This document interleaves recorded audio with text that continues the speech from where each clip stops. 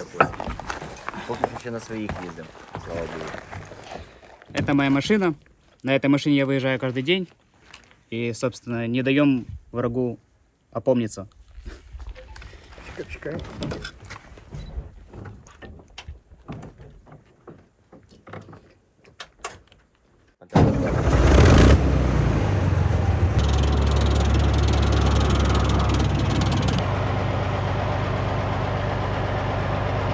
Пантера. Позывная Пантера. Я механик-водей. Э, боевые задания у нас, ну, это выезды на, для отработки прикрытия. Э, когда противник при- предпринимает какие-то действия, мы выезжаем, собственно, и даем, даем ему вицич. С 18 года мне прошлый командир роты дал такой позывной.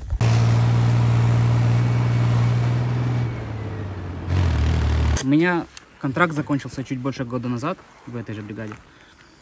То есть после контракта я работал э, в Затоке, работал, потом в Одессе тоже работал, в основном по кухне, повар, там все такое. У меня три года контракта. То есть выезжал в зону боевых действий тоже, в сектор.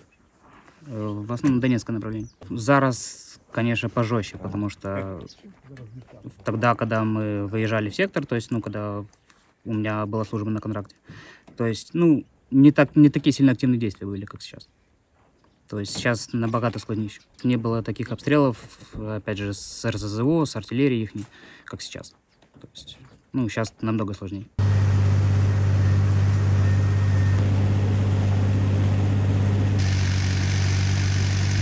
Ну, у них так периодически.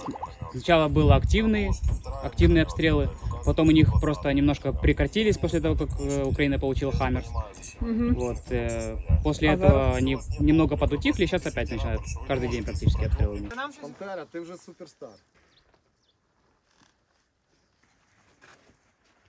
Горячо практически каждый день.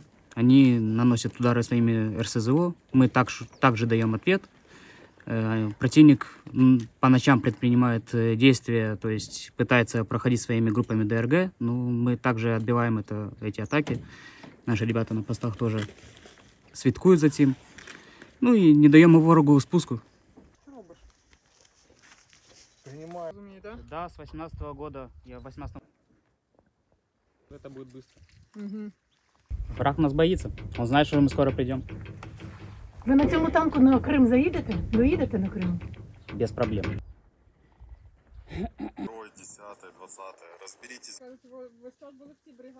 Противник сильно, м, ну, скажем так, он боится предпринимать какие-то активные боевые действия. То есть он понимает, что тут есть люди, которые не дадут ему пройти дальше, то есть в сторону города.